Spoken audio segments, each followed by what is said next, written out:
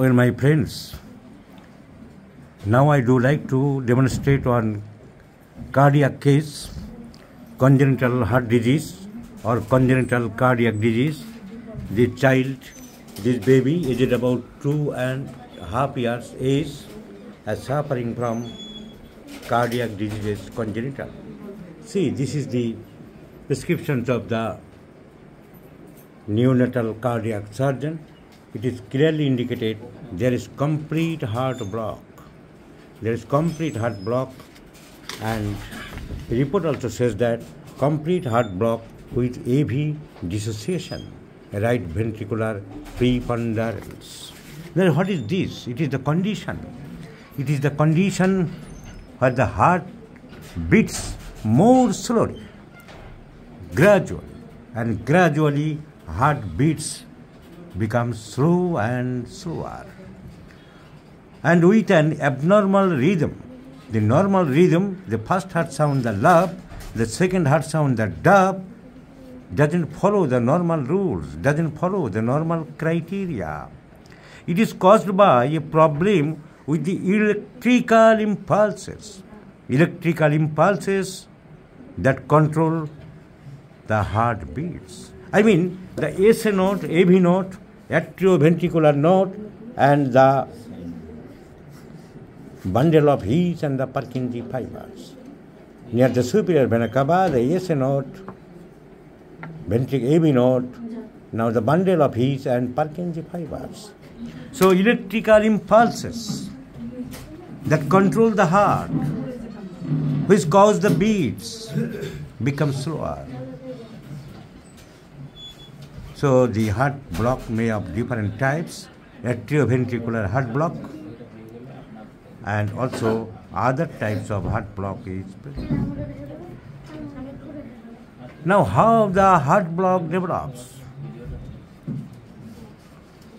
So this is the fibrosis of the conducting system of the heart. Now, what can I do? What can we do for such problems?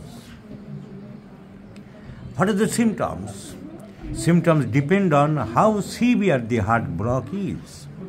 The least serious is in the first degree heart block, which may not cause any symptoms or asymptomatic. The second degree heart block sometimes cause troublesome. Third degree heart block is the most serious and can sometimes be a medical emergency. All degrees of heart block can increase the risk of developing heart rhythm problems. And the most important one is atrial fibrillation. What is atrial fibrillation?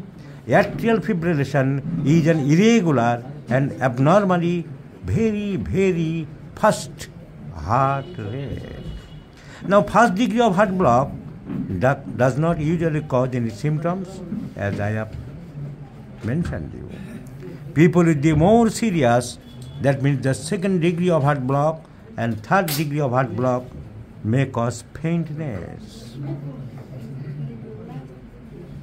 So, shortness of breath, faintness, shortness of breath. In elder subjects, there is feeling of tiredness and confusion of the brain and chest pain. So, some people are born with heart block congenitally, and these are called congenital heart block or heart disease. Some patients, these symptoms may develop after an heart attack, that is called acquired, or after that. So, depending on the cause of the heart block, we have to need the treatment. A pacemaker is a small battery operated instrument or device is inserted under the skin of the chest in case of severe heart block in elder subject, which is not possible in such smaller children.